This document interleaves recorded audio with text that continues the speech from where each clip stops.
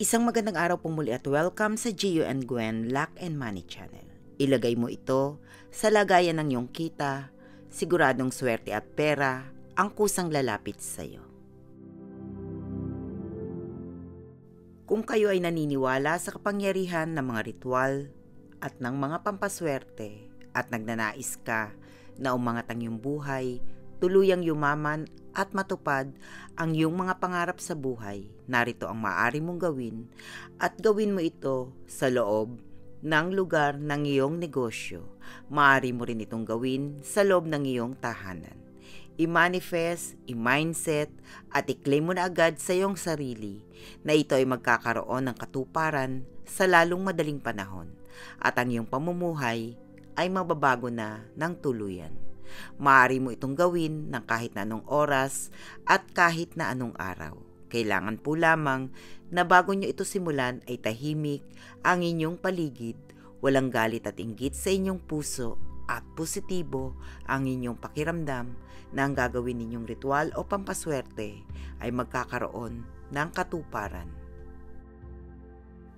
Narito ang maaari mong gawin upang maging maunlad ang iyong negosyo magsabit ka ng soup ladle o sandok na may malalim na scooper na kahoy o kaya naman ay stainless.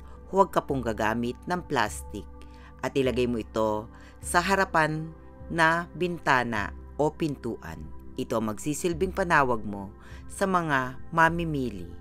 Ugaliin din ang magpagpag ng iyong buwena manong pera ng iyong mga paninda.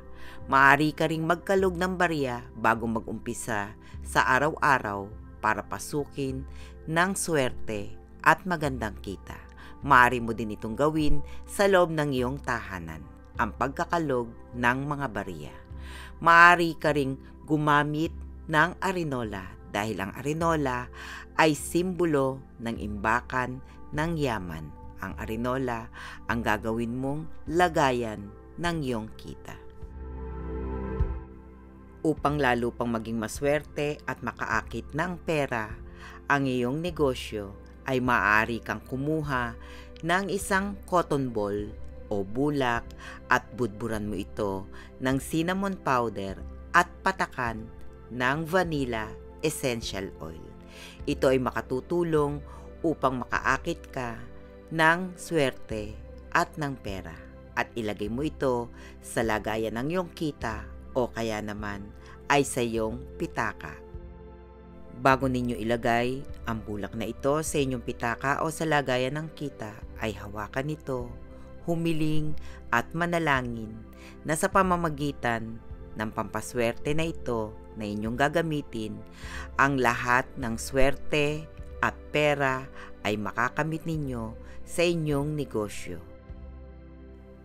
Sa pagganap po ng kahilingan ay huwag kayong magbabanggit ng salitang sana.